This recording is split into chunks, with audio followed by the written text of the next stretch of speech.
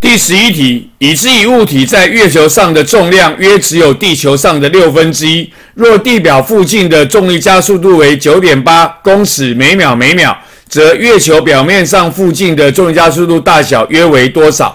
我们晓得它在月球所受的重量就是所受月球的重力。月球重量只有地球的六分之一，表示月球的重力就只有地球的六分之一。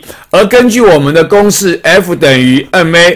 同一个物体质量是一样的，当我的力量变成六分之一的时候，我的加速度呢也会变成六分之一。所以我们在月球表面上的加速度是地球表面的六分之一。所以呢，我们就晓得第十一题问我们说，则月球表面附近的重加速度大小约为多少？我们答案呢要选的是出九点八乘以六分之一，公尺每秒每秒，也就是地球的重加速度的六分之一。